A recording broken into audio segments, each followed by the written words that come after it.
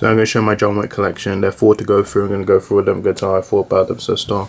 On time 14 we had um, John Wick, Keanu Reeves, this hard work, don't set him off. It's 15, it's count 14, there's the side, there's a bag. A sleek, stylish and electrifying action thriller. Prescription is on for 4 stars.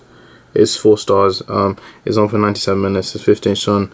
Language, body violence. Pseudo win post 15 lower, not be fine post age. And um, it's a disc. So yeah, this one is good. Um, it's not my favorite one. So it's on Double Home and just one says John Wick, great movie. Um, then 2017 we had John Wick Chapter 2. Um, bigger, better and bloodier. Um, it's 15, it's Kentown 17, side.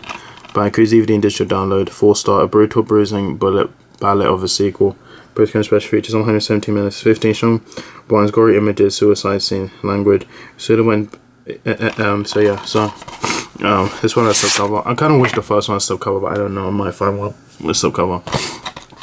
Um, yeah, so um, that is the ultraviolet, which I think has been used, but yeah, so it's the disc. So yeah, uh, John Wick 2 chapter is good. I think this is I think it's better than first. It's not my favorite one, so it's John Wick chapter 2. Great movie.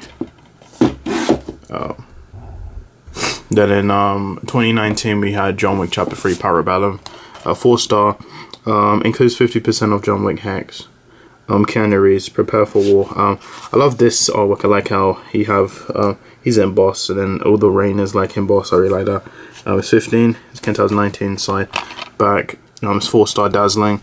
Um, 5 star Action Overload, the best John Wick so far, legendary, breath stopping. Post special features.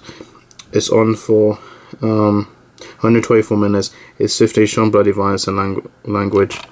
Um, cover off. And um, well, here's the, the John Wick hex and then star plays. Uh, then here is the disc which is just the same artwork as the cover but yeah.